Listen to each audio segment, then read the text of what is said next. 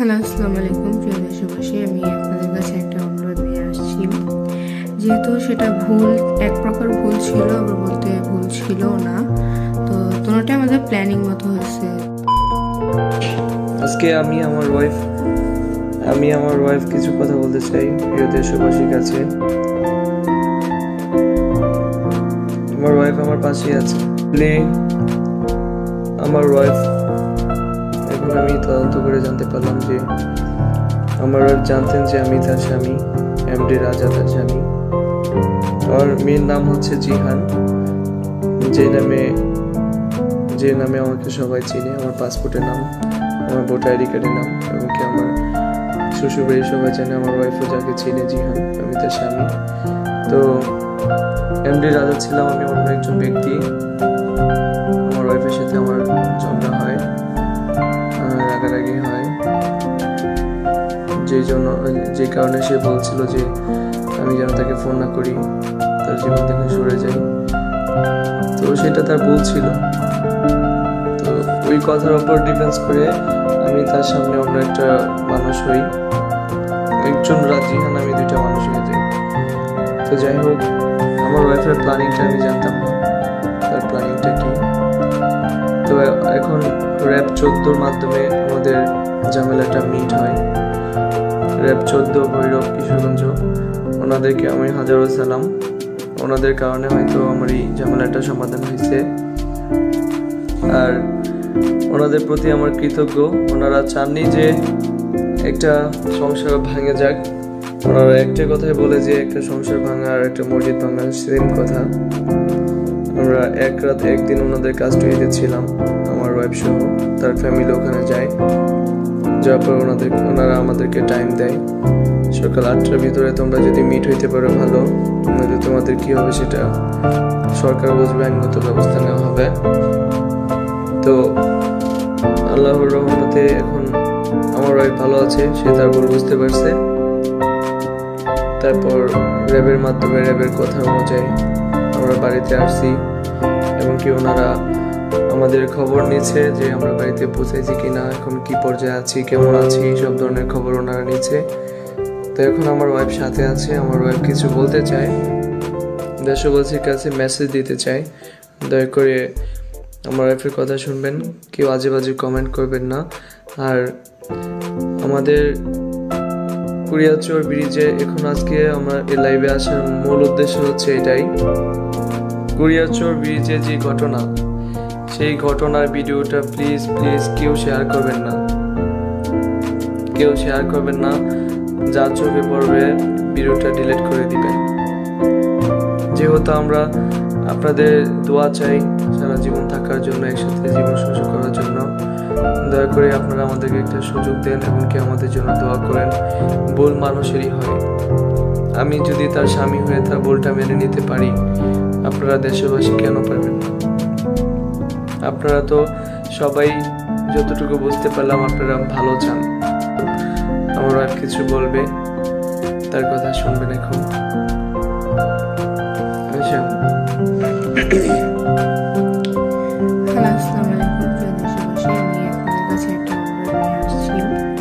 যেহেতু সেটা ভুল, এক প্রকার ভুল ছিল, আবার বলতে ভুল ছিল না। আমাদের প্ল্যানিং মতো হয়েছে। আমার হাজব্যান্ডও জানতো না যে আমার প্ল্যানিংটা কি, বা আমিও জানতাম না আমার হাজব্যান্ডের প্ল্যানিংটা কি, তো দুটো একসাথে হওয়ার কারণে আজকে এই অবস্থা। সিচুয়েশনটা এমন পর্যায়ে চলে গেছে।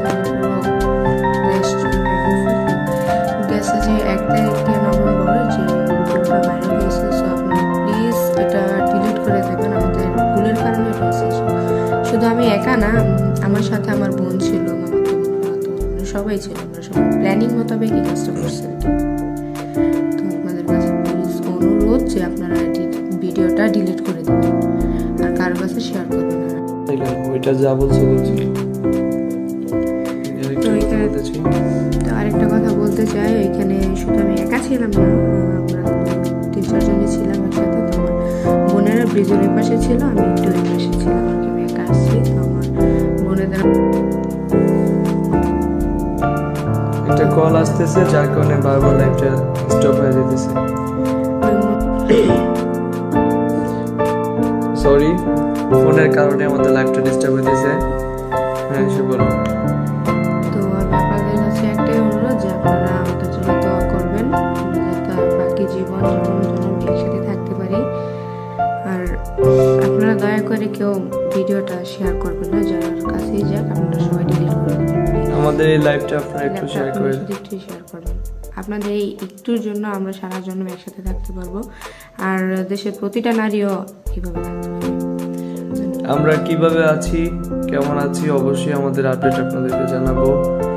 তো আমি আমার ওয়াইফকে অনেক ভালোবাসি সেও আমাকে অনেক ভালোবাসে বাট কি কারণে এমনটা হয়েছে, কেন হয়েছে, আমরা জানি না। আসলে ভুলগুলো আর খারাপ কাজগুলো, এগুলো শয়তানের চক্রান্তে হয়।